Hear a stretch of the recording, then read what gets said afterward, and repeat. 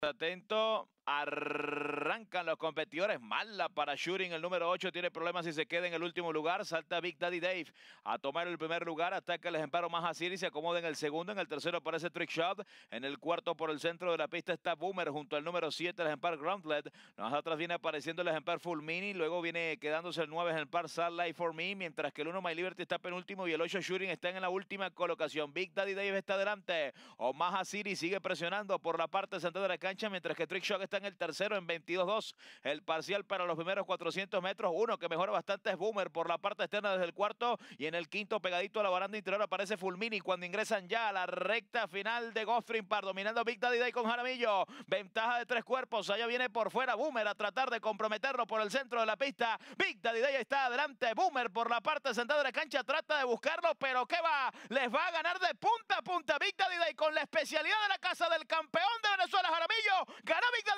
Day número 2. Segundo Boomer, tercero Fulmini, cuarto para My Liberty.